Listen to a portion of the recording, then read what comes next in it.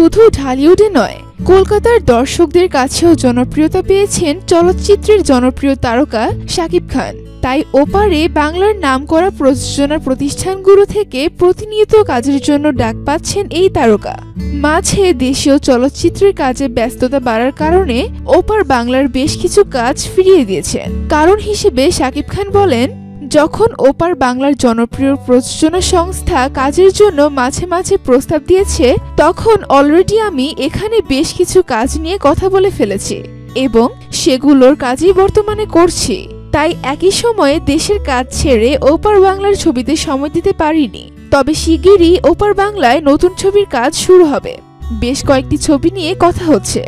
এখনই কিছু জানাতে চাই না। সব চূড়ান্ত হলেই দর্শকদের খবরটা জানাব। বাংলাদেশ ও ভারতের কলকাতায় সাকিব অভিনীত মুক্তিপ্রাপ্ত সর্বশেষ সিনেমা নাকাব। শাকিব খান এখন শাহেনশাহ ছবির শুটিং নিয়ে ঢাকায় ব্যস্ত। এই ছবিতে তার বিপরীতে অভিনয় করছেন নুসরাত ফারিয়া ও নবাগত রোদেলা জান্নাত। শাহেনশাহ ছবির কাজের ফাঁকে কলকাতায় যাওয়ার কথা রয়েছে সাকিবের।